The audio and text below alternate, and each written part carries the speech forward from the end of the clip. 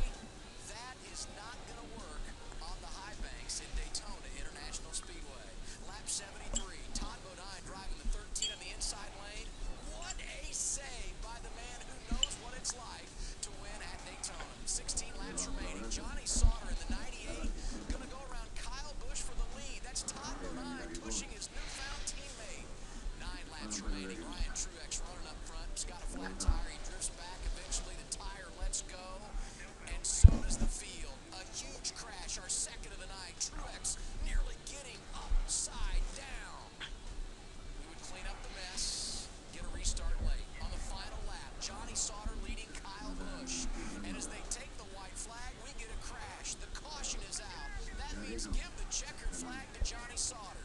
He's got a new number, and he's got new luck at Daytona. Here's Johnny in victory lane. You know, we came so close here ago, and, and uh, that was a tough one to swallow.